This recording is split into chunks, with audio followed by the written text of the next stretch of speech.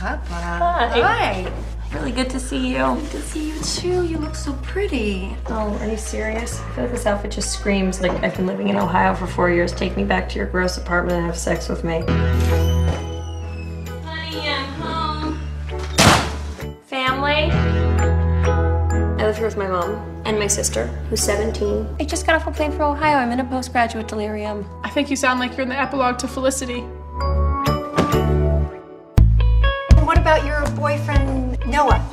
Owen, we broke up. Something about having to build a shrine to his ancestors out of a dying tree. You were not gonna marry him. He's like a little speck of granola on a bowl of homemade yogurt.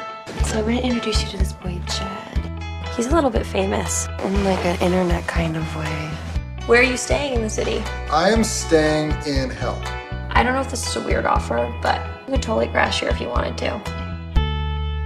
Is this a good spot? Mm.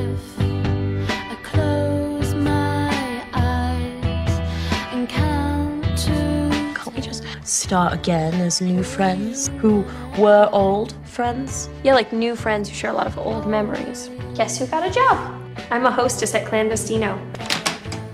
They hung up. Nice work. Even if I have to start what I really love to do is make videos for YouTube or whatever. Do you have the same sense of entitlement as my daughter? Well, believe me, mine is much worse.